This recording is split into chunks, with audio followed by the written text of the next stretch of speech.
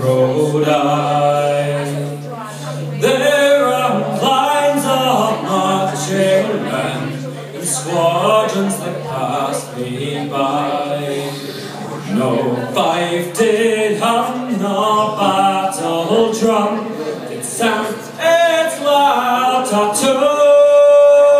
The Angelus bell over Liffey swell rang out to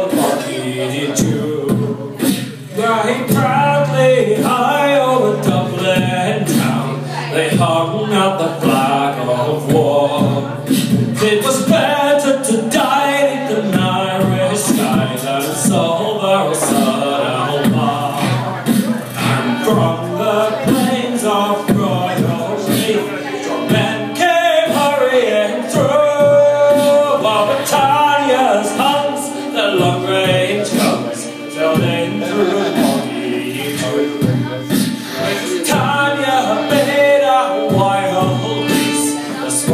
nations might go free. But the lonely graves of our soldiers were on the shores of the great North Sea. But had they died by Pearse's side, or fought with Cathal Brugha, their names we will keep where the Fenians sleep, the shroud of the foggy